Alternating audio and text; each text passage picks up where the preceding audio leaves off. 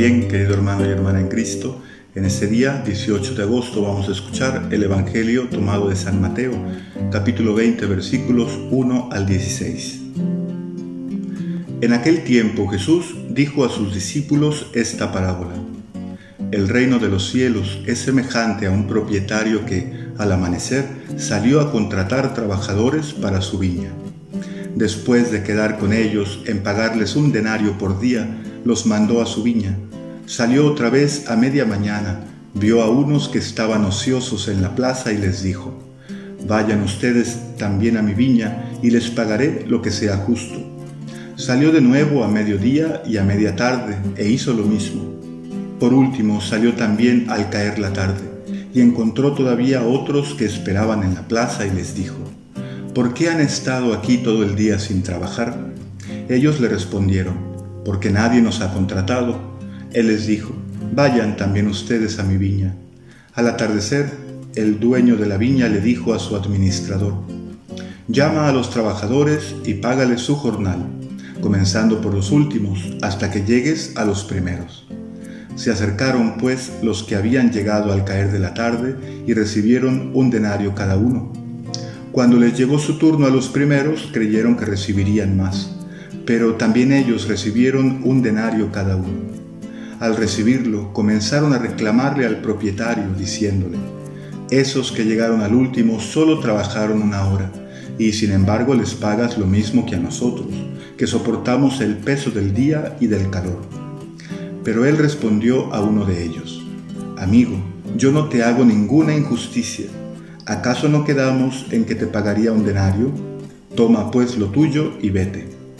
Yo quiero darle al que llegó al último lo mismo que a ti. ¿Que no puedo hacer con lo mío lo que yo quiero? ¿O vas a tenerme rencor porque yo soy bueno? De igual manera, los últimos serán los primeros y los primeros los últimos. Palabra del Señor, gloria a ti Señor Jesús. El Evangelio que acabamos de escuchar nos cuenta esta parábola que Jesús dirige a sus discípulos aquellos que lo han seguido, que lo han escuchado y que han estado siempre cerca de Él. Este Evangelio es una revelación muy grande porque habla no solamente del reino de los cielos como la situación que será en el cielo ante su presencia, sino también nos habla de la situación aquí en la tierra, de cómo nosotros seremos capaces de instaurar el reino, si nosotros también cambiamos mentalidad y comenzamos a obrar unidos y a alegrarnos por el don que anticipadamente Dios nos ha dado. Como decíamos los días anteriores, el reino de los cielos es una persona, es Jesús. Él es el regalo, Él es el don del Padre para nosotros. Y nosotros hoy reconocemos que este regalo ha sido inmerecido. Imaginemos pues si Dios nos pagara conforme a nuestras obras. Más bien Jesucristo nos ha revelado que el Padre es generoso, que si hoy escuchamos su palabra y hoy nos convertimos y decidimos seguirlo con todo el corazón, entonces recibiremos toda su generosidad, que es el derrame de todos sus dones y de su misericordia. Entonces ya entendemos por dónde va la parábola. No es, como dice esta misma, que el Padre sea injusto, que algunos da más o algunos da menos. Antes que nada, el Evangelio nos hace ver que ante Dios todos somos iguales, todos tenemos la misma dignidad por eso decía que ese Evangelio tiene implicaciones tanto para nuestra vida espiritual como para nuestra vida aquí en la tierra como seres humanos llamados a vivir organizados en una sociedad. A veces nos olvidamos de que como cristianos que formamos parte de este mundo, pues estamos llamados a instaurar este reino y a vivir de una manera distinta, con una lógica distinta.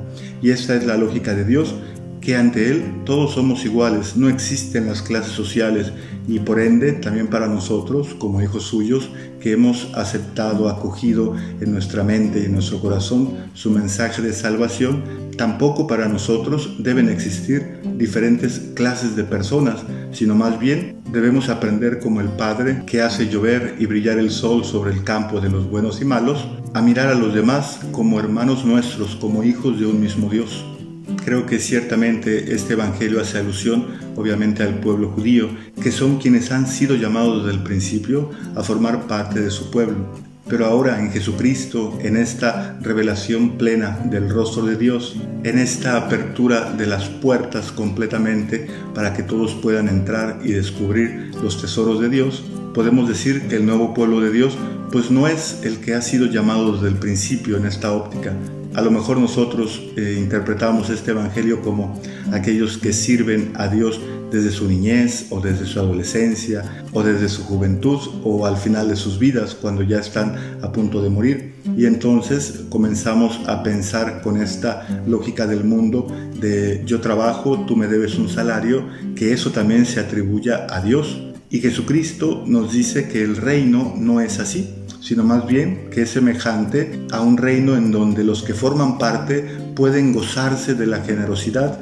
del dueño, del rey, porque Él se da completamente a todos y no da conforme a las obras de cada uno, sino da según la medida de su generosidad, y esta es la justicia que nos ha salvado.